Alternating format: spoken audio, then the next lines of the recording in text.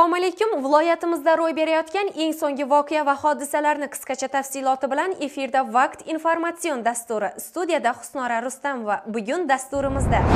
Hazaras tumanida joylashgan 36 sonli umumiy o'rta ta'lim maktabida tadbir bo'lib o'tdi. O'zbekiston respublikasi davlat soliq qo'mitasi huzurida malaka oshirish markazi tashkil etildi. Adliya vazirligi tomonidan prezidentimiz farmonlari yuzasidan targ'ibot ishlari olib borildi. Xalq demokratik partiyasi tomonidan ayollar o'rtasida ko'rik tanlov o'tkazildi. Urganch shahridagi 29 sonli umumiy o'rta ta'lim maktabida alisher navoiy va Zahiriddin muhammad bobur tavalludiga bag'ishlab tadbir o'tkazildi. Urganch shahridagi 72-60 sonli harbiy qismida Zahiriddin muhammad bobur tavalludining 536 yilligiga bag'ishlangan insholar tanlovi o'tkazildi.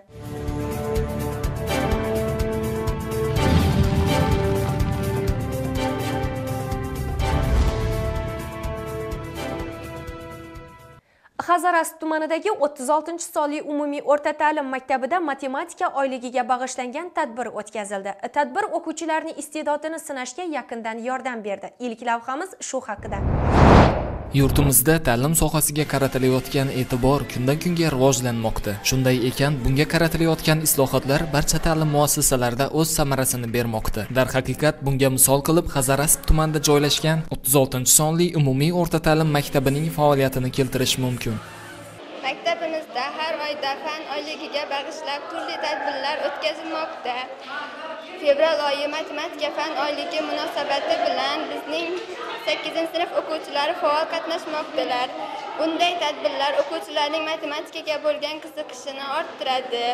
Ushbu maktabda turli tadbirlar tez-tez uyushtirilib turiladi. Jumladan, maktabning 8-sinf o'quvchilari tomonidan o'qituvchi Matchon va Matluba boshchiligida matematika oyligiga atab o'tkazilgan Assalom matematika tadbiri bo'lib o'tdi.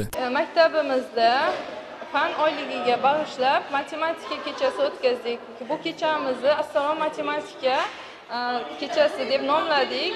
Bu kechamizda 8-sinf o'quvchilari qatnashdi. Ular she'rlar, matematik maqollar, matematik qo'shiqlarga raqslar tushishdi. Matematika fan oyligiga bag'ishlab o'tkazilgan kechamizda ustozlarimiz qatnashdi.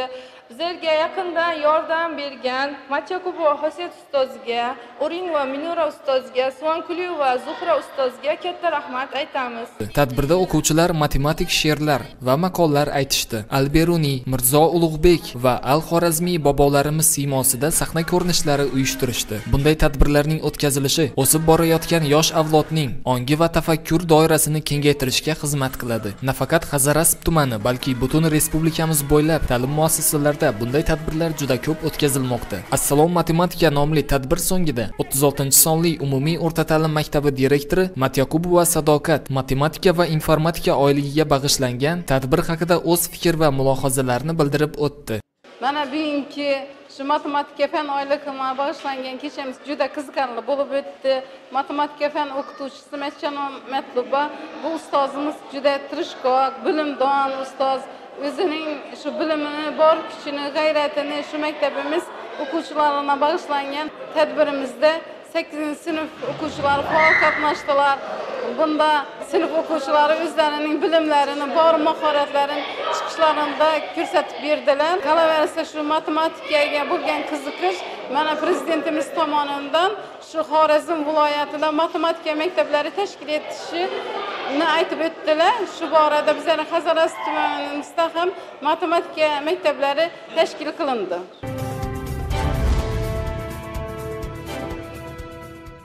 Soliq xizmati organlari korxona va tashkilot rahbarlari va hisobchilariga o'zbekiston respublikasi davlat soliq qo'mitasi huzurida malaka oshirish kurslari tashkil etildi. Hozirgi lavhamiz shu haqida.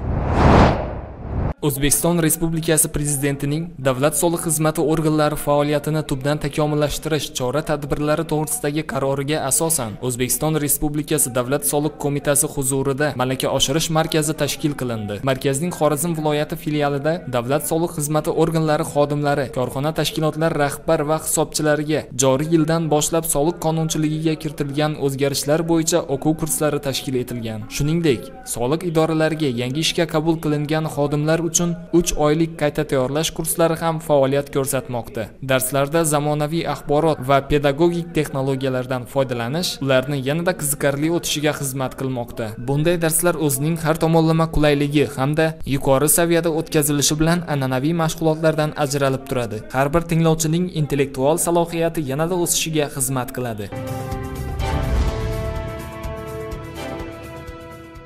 Jamiyatda huquqiy ong va huquqiy madaniyatni yuksaltirish tizimini tubdan takomillashtirish to'g'risida prezidentimiz farmonlari yuzasidan joylarda targ'ibot ishlari olib borilmoqda. Hozirgi lavhamiz shu haqida. O'zbekiston respublikasi adliya vazirligi joriy yilning 15 fevral kuniga qadar respublika bo'ylab manzilli targ'ibot tadbirlari o'tkazishni boshladi. Barchamizga ma'lumki mamlakatimizda olib borilayotgan barcha islohotlar zamirida avvalo inson uning huquq va manfaatlari yotadi. So'nggi yillarda inson uning huquqi erkinligi qonuniy manfaatlarini ta'minlash maqsadida keng qamrovli islohotlar amalga oshirilmoqda. Lekin yaratib berilayotgan bu imkoniyatlar shart sharoitlardan fuqarolarimiz xabardormi? Mana bugun e, o'quv seminari o'tkazilmoqda. Bu aynan prezidentimizni ikki ming o'n to'qqizinchi yil to'qqizinchi yanvardagi jamiyatda huquqiy ong huquqiy madaniyatni yanada yuksaltirish bo'yicha o'quv seminari bo'lyapti. Adliya vazirligini xodimlari shu o'quv professorlari o'qituvchilari kelib o'tkazdi. Aynan dolzarb mavzu jamiyatimizni rivojlantirish huquqiy demokratik davlat tuzishimiz uchun aynan kerakli narsa deb o'ylayman. Man shu seminardan ko'p narsa oldim. Davlatimiz rahbari ta'kidlagandek qonunlarni qabul qilish bu ishning bir qismi xolos. Asosiy masala qonunlarning mazmun mohiyatini xalqimizga va mas'ul ijrochilarga o'z vaqtida yetkazish. Ularning ijrosini to'g'ri tashkil etish hamda qonun talablariga qat'iy amal qilishini ta'minlashdan iboratdir. Jamiyatda huquqiy ong va huquqiy madaniyatni yuksaltirish tizimini tubdan takomillashtirish to'g'risidagi prezidentimiz farmoni qabul qilishdan ko'zlangan asosiy maqsad ham shu. Bu borada amalga oshirilgan ishlar bilan bir qatorda qayd etish joizki hali bu sohada qilinadigan ishlar talaygina. Ayniqsa umumiy targ'ibot fuqarolarni bezovta qilayotgan masalalar bo'yicha targ'ibotga o'tish davri keldi. Bugun xorazm viloyati qo'shko'pir tumani hokimiyati binosida demak aholi bilan e, davlat boshqaruv organlari xodimlari bilan ta'lim muassasalarining xodimlari bilan uchrashuv bo'lib o'tdi. Bu uchrashuvning e, mohiyati prezidentimizning ikki ming to'qqizinchi yil to'qqizinchi yanvarda qabul qilingan farmonlarining huquqiy ongi huquqiy madaniyatini yuksaltirish tizimini tubdan takomillashtirish to'g'risidagi farmonning mazmun mohiyati bo'ldi. Adliya vazirligi tomonidan 15 fevralga qadar butun respublikamiz bo'ylab tashkil etilayotgan manzilli targ'ibot tadbirlari maqsadi ham fuqarolar davlat tashkilotlari xodimlarining huquqiy ongi va huquqiy madaniyatini yuksaltirish ularga qonun hujjatlarining mazmun mohiyatini tushuntirishdir. Bunda targ'ibot tadbirlari ikki yo'nalishda tashkil etilmoqda. Birinchi yo'nalishda xalq ta'limi vazirligi qurilish vazirligi davergio des kadastr qo'mitasi hamda moliya vazirligi huzuridagi byudjetdan tashqari pensiya jamg'armasi va ularning hududiy tuzilmalarida ishlovchi xodimlarga soha faoliyatiga oid qonunchilik mohiyati yetkazilishi bilan bir qatorda ularning mehnat va boshqa huquqlari ham tushuntirilmoqda. Ikkinchi yo'nalishda esa turli aholi toifalari yoshlar tadbirkorlar uy bekalari pensionerlar mehnat migrantlari orasida tegishli qonun hujjatlarining mazmunini yetkazish bilan bir qatorda ularning qonun hujjatlaridan xabardorlik darajasini ham monitoring qilib borilmoqda. olunmaqda. Ədliyyə Vəzirliyi tamamdan hududlarda tərqibat tədbirləri ötkəziş boyunca işçi qrup düzülgən. Ushbu işçi qrup tomonidan tumanimizda mana bugun jamiyatda huquqiy ong, huquqiy madaniyatni yuksaltirish borasida targ'ibot tadbiri o'tkazildi.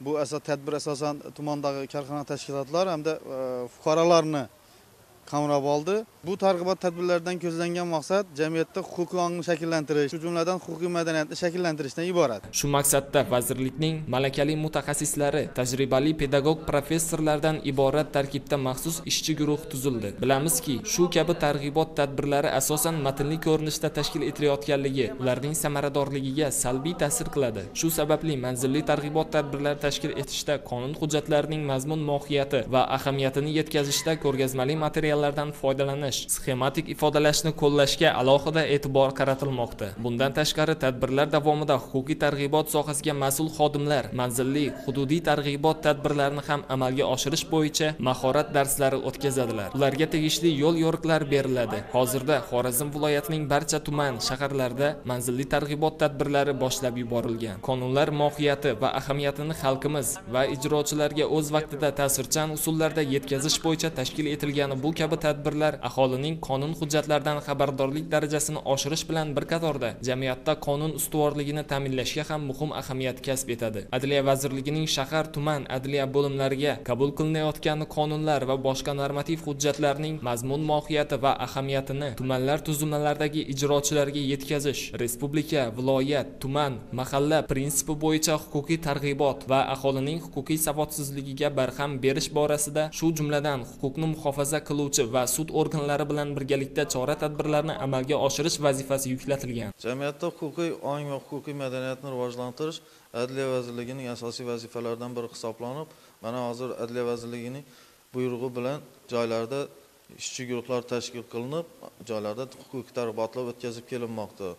Ularda asosan aholiga huquqiy ongini va huquqiy madaniyatini yuksaltirish borasida tushuntirishlar berilib yangi qabul qilinayotgan qonunlarning mazmun mohiyatlari o'z vaqtida sodda ularga tushunarli tilda bildirilib kelinmoqda.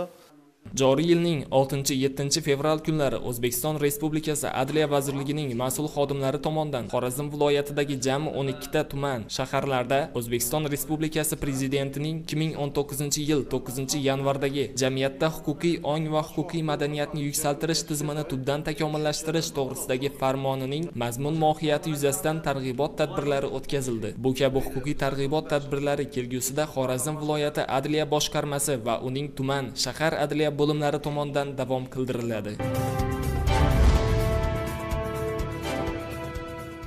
Davlatimiz tomonidan ayollarga qaratilayotgan e'tiborni yanada yuksaltirish maqsadida Xalq demokratik partiyasi tomonidan ko'rik-tanlov o'tkazildi. Hozirgi lavhamiz shu haqida.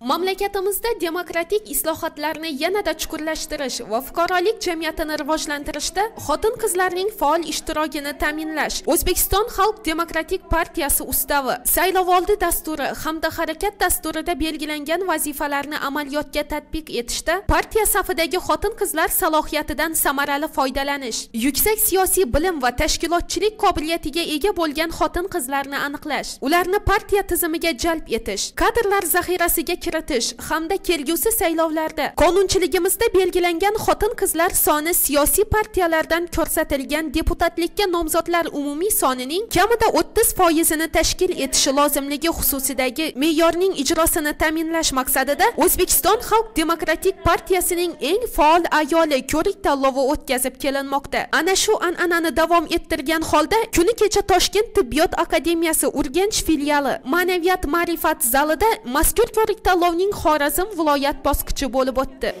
Mana bugun O'zbekiston Xalq Demokratik partiyasining eng faol ayol ko'lik tanlovi Xorazm viloyat bosqichi bo'lib o'tmoqchi. Bugun mana Xorazm viloyat ahli uchun juda katta bayram.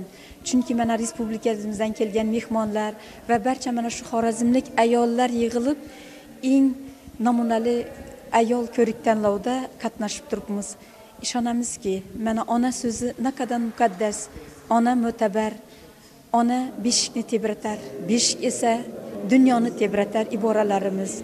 Mana shu Xorazm ayollari o'zbek xalqida milliy urf odatlarimizga boy bo'lgan, eng mana shu sabrli, nafosatli o'zbek xotin-qizlariga xos bo'lgan hayoli, iboli ayollardir.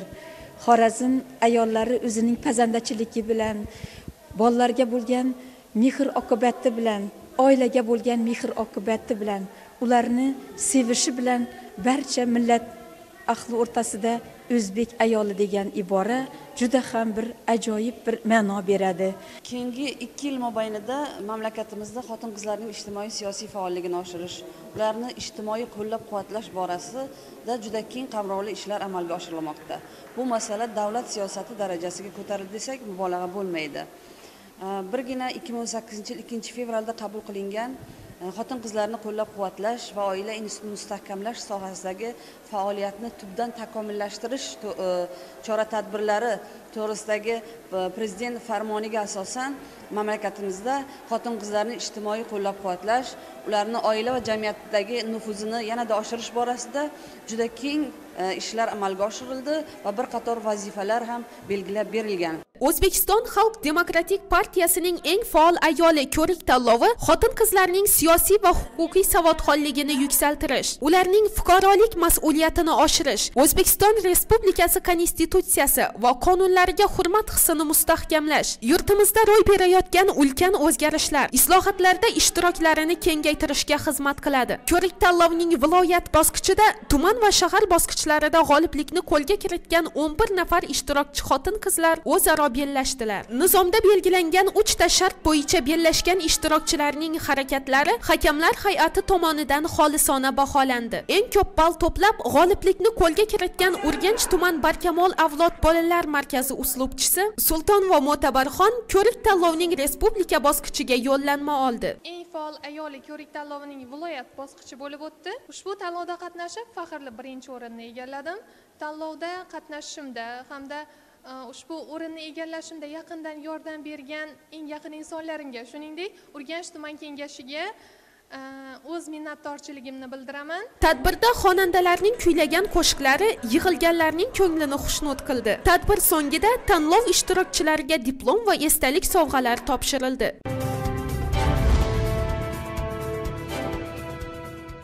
Buyuk mutafakkir so'z mulkining sultoni alisher navoiy va shoh va shoir zahiriddin muhammad bobur tavalludiga bag'ishlangan tadbir haqida hozirgi lavhamizda bilib olasiz shu kunlarda respublikamizning barcha hududlarida buyuk bobokalonimiz alisher navoiy va zahriddin muhammad bobur tavalludi keng nishonlanmoqda. Ushbu tavallud ayyomi munosabati bilan urganch shahridagi bir qancha ta'lim muassasalarida tadbirlar uyushtirildi. Tadbirlarning asosiy maqsadi yoshlarga buyuk ilm va ma'rifat rivojiga katta hissa qo'shgan ota bobolarimiz ularning hayoti haqida ma'naviyatga qo'shgan hissalari haqida tushuncha berib ularning ongida shunday buyuk siymolar avlodi ekanligini singdirishdan iborat. Xuddi shunday tadbirlar tadbirlardan biri. Urganch shahridagi 29 sonli maktabda ham o'tkazildi. Bugun bizning 29 sonli maktabimizning 3 d sinfida bobolar merosi nomli tadbir bo'lib o'tdi. Bunda alisher navoiy bobomiz bilan zahriddin muhammad bobomizning e, hayoti ijodi bilan e, yaqindan e, o'quvchilar yanada tadbir jarayonida tanishdilar. Bu tadbirning tashkilotchisi ali muasayra ustozimizning mashaqqatli mehnatlari evaziga bo'ldi. Bolalar e, bu e, tadbirdan yana o'zlariga bobolarimizning biz uchun yozib qoldirgan asarlari haqida keng tanishdilar. Ertamiz egalari umidimiz yulduzlari bo'lgan yoshlar masalasi bugungi kunda davlat siyosati darajasiga ko'tarilgani hech birimizga sir emas. Buyuk bobo kalonlarimiz tavallud kunlari munosabati bilan bugungi tadbirimizni maktab va sinf sardorlar kengashi bilan hamkorlikda birgalikda tashkil qilishga harakat qildik. Tadbir davomida va umuman tadbir yakunida o'quvchilarimiz buyuk bobolarimizning qilgan ezgu amallari bitgan go'zal baytlari asosida hayot keyingi hayotlarining keyingi bosqichlarida kerakli bo'ladigan xulosalarga keldilar degan umiddamiz. Tadbir davomida o'quvchilar o'zlari yod olgan g'azal ruboiy va she'rlari bilan ishtirok etishdi. Tadbirga ta'lim muassasasi o'quvchilarining ota onalari ham mehmon sifatida tashrif buyurib farzandlarini qarsaklar bilan qo'llab turishdi. Mana bugun respublikamizning barcha go'shalarida alisher navoiy bobomiz va zahriddin muhammad boburlarning tavallud sanalariga bag'ishlangan tadbirlar keng nishonlanmoqda. Bugun bizning maktabimizda ham tadbirni keng nishonladik. Darhaqiqat buyuk bobolarimiz qoldirgan ulkan ilmiy va ijodiy merosdan bugun butun dunyo bahramand bo'lmoqda. Bu bilan faxrlansak arziydi. Buyuk bobokalonlarimiz alisher navoiy va zahriddin muhammad bobur tavalludiga bag'ishlab tanlovlar o'tkazildi. Hozirgi lavhamiz shu haqida 14 fevral zahriddin muhammad bobur tavalludining 536 yilligi munosabati bilan o'zbekiston respublikasi qurolli kuchlari harbiy xizmatchilari orasida bobur umum armiya yoshlar nigohida mavzusida bir qancha ko'rik tanlovlar o'tkazildi. Xuddi shunday ko'rik tanlovlardan biri urganch xalqaro aeroportida xavfsizlikni ta'minlash alohida batalyoni 72-60 sonli harbiy qismida ham bo'lib o'tdi. Mana bugun urganch shahridagi yetmishki oltmish harbiy qismda e, zahiriddin muhammad bobur umum armiya yoshlar nigohida mavzusida e, uning tavallud e, topgan kuni munosabati bilan insholar tanlovi bo'lib o'tdi. Bu yoshlar ittifoqi o'zbekiston yoshlar ittifoqi tomonidan tashkillashtirilgan bu insholar tanlovida bevosita o'zbekiston respublikasidagi barcha harbiy qismlardagi yoshlar o'zlarining fikrlari bilan zahiriddin muhammad boburni vatanparvarligi ular u to'g'risidagi fikrlarini insholarda ko'rsatib o'tishdi. Va bu e, tanlovdan respublika bosqichigacha borishadi. Ko'rik tanlovda o'zbekiston yoshlar ittifoqi urganch shahar kengashi mutaxassislari toshkent axborot texnologiyalari universiteti urganch filiali qoshidagi birinchi son akademik litsey o'qituvchilari va urganch shahar 12 son umumiy o'rta ta'lim maktabi o'qituvchilari hakamlik qilib borishdi. Prezidentimiz tomonidan e, respublikamizning barcha harbiy qismlarida bobur tavalludining 536 yilligi munosabati bilan inshaalloh tanlovi ko'rik tanlovi musobaqalari bo'lib o'tmoqda bizni harbiy qismimizda ham bobur umum armiya yoshlari nigohida nomli inshaalloh tanlovi bo'lib o'tdi insholar tanlovida harbiy qismning askarlari o'z bilimlarini sinab ko'rishdi ko'rik tanlov davomida ishtirokchilardan yuksak bilimli bo'lish va ona tili adabiyot fanlaridan xabardor bo'lish talab etildi buyuk bobolarimiz xotirasiga bag'ishlab o'tkazilayotgan bu kabi ko'rik tanlovlar yoshlarni bilim olish darajasi o'sishiga ko'mak beradi. Hozirgacha sizga yetkazmoqchi bo'lgan xabar va lavhalarimiz shulardan iborat edi. Siz vaqt informatsion dasturini tomosha qildingiz. Doimgidek dasturimiz so'ngida ob havo ma'lumoti bilan tanishishingiz mumkin. Xayr salomat bo'ling.